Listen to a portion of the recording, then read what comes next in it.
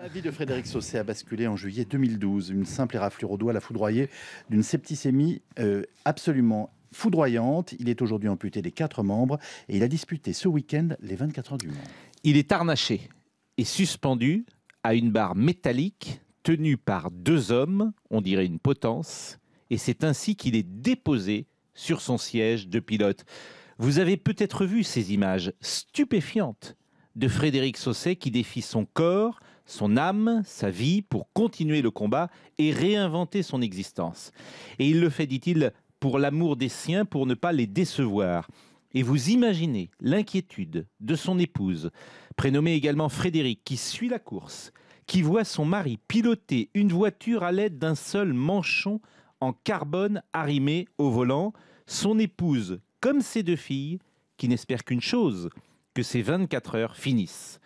Vous regardez ces images et vous prenez une leçon en vous posant une question à laquelle vous souhaitez ne jamais avoir à répondre.